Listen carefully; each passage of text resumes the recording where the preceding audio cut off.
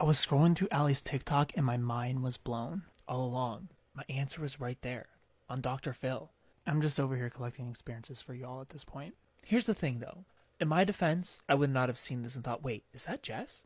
But it is. I recognize her mom more than I do her at this stage in life. She obviously has gotten enhancements over the past few years and looks almost completely different now.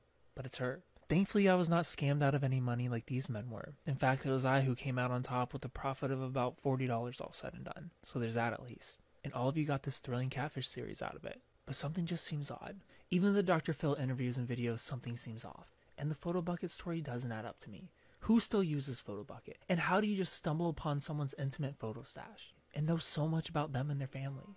I feel like there's more to the story, and if either of the two want to step forward and talk about it, I will of course follow up. What can we learn from my experience? One, don't be loyal until you meet, or at the very least until real plans are made. Two, nobody in the world has this much bad luck. My empathy was used against me. If someone actually wants to see you, they'll look for solutions, not problems. Three, push for a FaceTime once plans are spoken about, even if their mother is dying.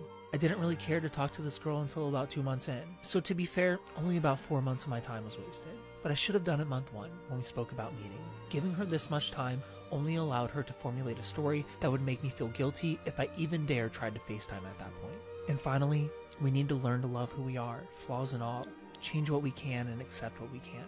I have a community of loving and caring people from all over, in all shapes and sizes. If you want to hang around, if you want to make friends, you're accepted here in the galaxy of love. Finding out who both of these women are is one of the weirdest feelings I've ever felt. Like a waking nightmare.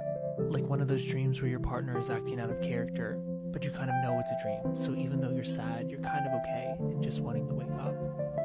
Except I don't get to wake up. The person I was building a future with in my head vanished in thin air, and it was real. And seeing the real girl living a life I'm not a part of in a way feels like betrayal, even if she had no part in it. That's the woman I would picture my life with. That's the woman I stayed up all night with and listened to cry. I held her together while she was in the middle of losing her mother. I played video games with her, I laughed with her, created so many inside jokes. She has a boyfriend. She's happy without me. She seems different. Her energy. It's not Jess. She's what I assumed Jess would be but wasn't. And in a way that's disappointing. It's like the story of Kingdom Hearts where Sora sacrifices himself and becomes a heartless and a nobody to save Kairi. My Jess was a somebody, but she's been split into two parts that I don't recognize. It's one of the weirdest feelings ever. It's uncomfortable. It's claustrophobic, but I'm kind of okay because it wasn't real. But I'm kind of not okay because it was real. I spy with my little tired eye, tiny as a firefly, a pebble that we picked up last July. Down deep inside your pocket, we almost forgot it. Does it ever miss close? Almost as if it were me in the coma. I was at peace, I was happy, then my plug was pulled. And in an instant, I have to let go and watch the woman I thought I was gonna spend my life with move on. But she doesn't know. I can't fix this. She can't miss me. She doesn't know what we had. She doesn't know who I am. She doesn't know all the times I was there for her. It was all a dream that I was awake for. All that you ever wanted from me was sweet nothing.